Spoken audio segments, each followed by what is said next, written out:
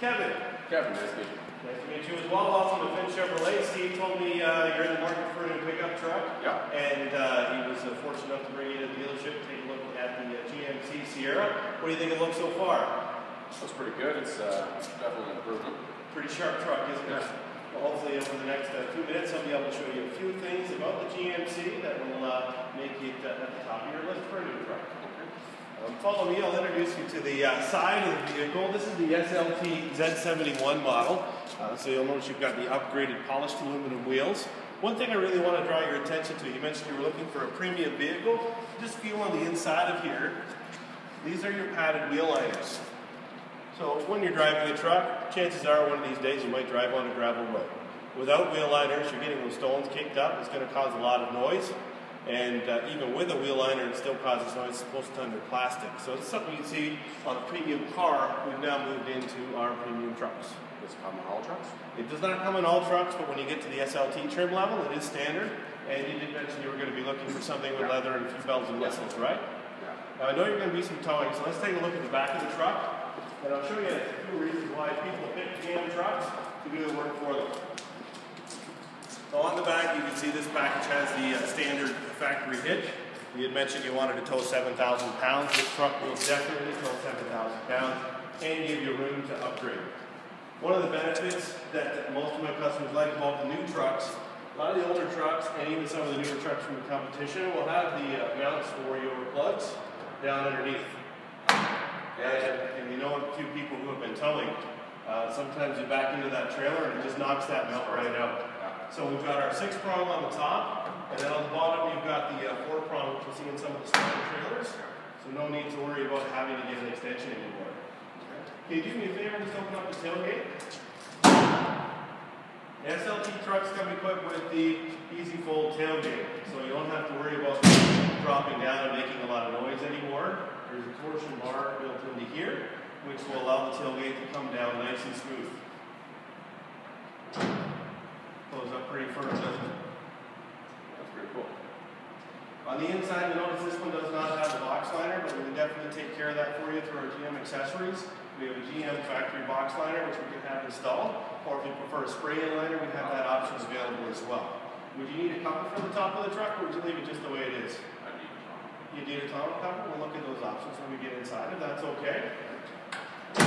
Has anyone ever talked to you uh, about uh, limited slip differential or uh, locking differentials in any of the trucks you've been looking at?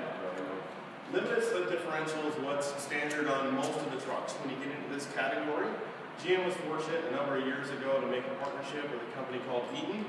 And they have a patented system called G80 locking differential. That's equipped on this truck, and believe me when I tell you, I've seen videos where a four-wheel drive pickup truck is underperformed by a two-wheel drive locking differential pickup truck like the one that you see here. Locking differential ensures that you've got maximum torque going to both of your rear wheels. So even if you have one tire up in the air with no traction at all, the uh, once there's a difference in rotations or RPMs from right to left, it automatically locks your rear end to give you a solid axle. So you're getting almost 100% of your torque to the wheel that's on the ground. Versus limited slip, where usually 30% of your power is to the wheel that's on the ground, and 70% of your power goes to the wheel that's spinning up in the air. Do you ever get inside the box of your truck? Yeah. Or would you normally access things from outside? Uh, I uh, hop up inside all the time. From the outside of the truck, you notice the step over rank's pretty easy. So your toolbox, your lunchbox, anything you need to get to, it's pretty easy. And they put these really nice covers on the top, so don't worry about scratching the box. Getting into the truck is a little bit easier. Whether the is up or down, they've now added these notches, which we've taken from the old Avalanche. Great idea. I don't know why we didn't have it in our truck sooner. Right now, we're the only ones that have it. That difference, even though it's four or five inches, give yourself a try makes all the difference in the world getting into the truck. Sure your friends will appreciate that too, won't they? So now that we've talked a little bit about stick thing that some places have. Yes, a lot better than the stick. Um, now that we've got uh, everything talked about on the outside of the truck, why don't we hop on the inside? Come on over to the passenger side. Were you going to be having any passengers in the back? Yeah. So with the crew cab, you'll notice that it will seat six, depending on the seating configuration that you have, and very comfortably it'll seat four people. How do you feel in there? Awesome. And would you say the guys that you're working with are bigger or smaller than you? Uh, bigger, but Bigger? Would they feel comfortable? I think so. Awesome. Anything else in the back you think they'd worry about? Uh, no, we got a couple of here. Perfect. Come on up front where you're going to spend most of your time. You can have a seat up front, and I'll hop on the driver's side.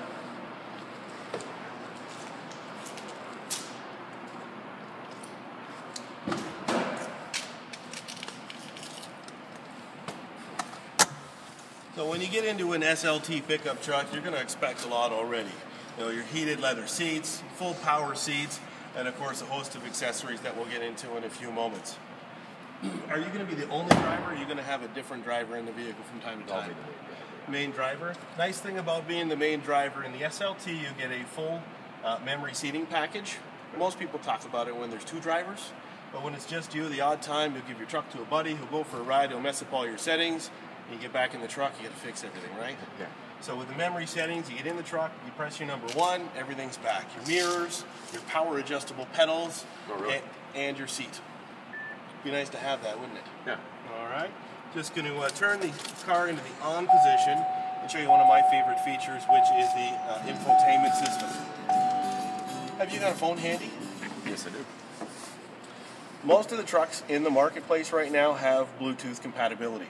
I don't think anybody's done a better job than General Motors in this area, and I want to show you that. Can I borrow your phone? Yeah. So I want to show you first step when you have a Bluetooth phone, how you can connect it. Okay. And connecting some vehicles it takes a long time. Some vehicles are very simple. You notice at the top here Phone button, yeah. we have our phone button and we have pair a device. Once we have your phone set, we can go into our Bluetooth settings. We'll scan. And down on the bottom we'll show your GM IntelliLink. Okay. Yeah. You click OK. Yes. And now our car is successfully paired. A lot, a lot easier than it used to be. You know, you Very simple. You got to talk to the computer and know what the hell. They So now what we can do is we can talk on the phone. Yep. We can also access any of the media files that we have on here if we want to listen to an audiobook or some of our old uh, old CDs we now have on our phones. Okay. Pretty neat, eh? So far, what do you think of the color touch display?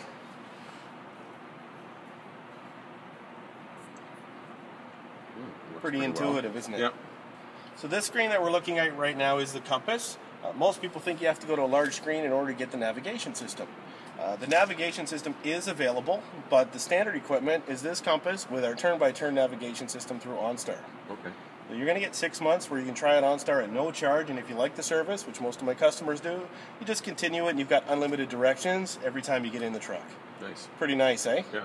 Awesome. Um, going back to the media, now that we have our phone connected, we can actually access all of the music that we have on our phone just with a touch of, touch of a button. So right now we're looking at an audiobook that you have on your phone that we can listen to. Maybe we'll want to move into some music. We can access that as well. That's that's cool. Most people, when they're in a truck and they're working in the truck, they just want to make sure that they can access their contacts and make their phone calls. This is where GM's done a great job integrating, and all of your contacts are now on your truck. Oh, it automatically populates it. Automatically populates it, and even better, everything on the truck has a voice tail, uh, a voice dial system. So you can pick a name. Let's see if we've got anyone here that we can call. You recognize any names we can use? Recognize them all. It's All my right, phone here, let's call somebody. Command, please. Call Yvette Eugenia DiBrita at home.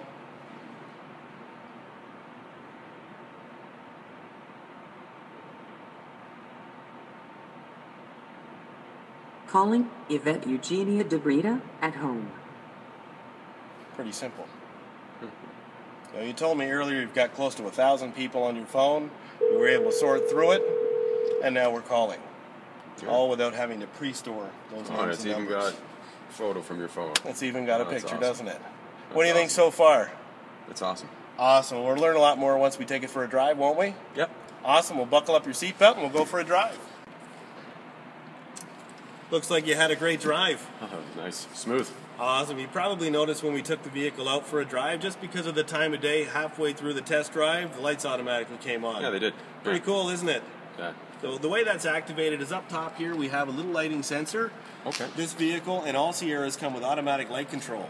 So when it gets dark outside, whether it's dark outside or you're going through a tunnel or just parking in your garage, it'll automatically turn on your lights when it's appropriate. All right. One of the other things I wanted to mention, as we were on the drive, we played around a little bit with the tow haul mode. Yep. Tow haul mode is going to change how your transmission shifts in order to give you optimal fuel economy and optimal towing power. Once your trailer's hooked up, you're going to be able to use GM's integrated trailer brake, which is now located at the top of the dash instead of the bottom of the dash you see in most trucks, whether it's factory installed or aftermarket installed. Being factory installed, you have a few other things that go along with it. Your brakes are now integrated into our trailer sway control. So if a big gust of wind comes by, hits the trailer, it starts to get away from you, the truck's going to fix it already. Also, on those steep inclines that you're going to have where you're at a stop sign and you've got that trailer behind you, Hill Start Assist is going to allow you time to take your foot from the brake to the gas. Okay. Keeps the brake lightly applied so your trailer doesn't roll back into the traffic behind you. All right. That'll save you from having a mess, won't it? you asked earlier about remote start, and I showed it to you on the key. Yep. And this is a great feature a lot of manufacturers have been coming up with where you can start the vehicle, you can do it from 220 uh, meters away. Yeah, it's nice to start, you know, in the morning. We've also added another feature with our remote link, which is part of our OnStar package. The remote link control package you're going to get free for five years, and you can start your truck from anywhere in the world you have cellular coverage. Isn't that cool? Yeah. So if you get back from vacation, you're in the airport, it's cold outside, and you want to start your truck, you pull out your phone, you hit start. When you get to your truck, it's running. All part of your complimentary five-year remote link package. Can't remember if you locked your car? Pull out your phone, double check it, hit lock. It'll say confirmed. You can sleep with ease knowing your truck's locked. Come on inside. Let me show you how easy it is to own this new truck. All right.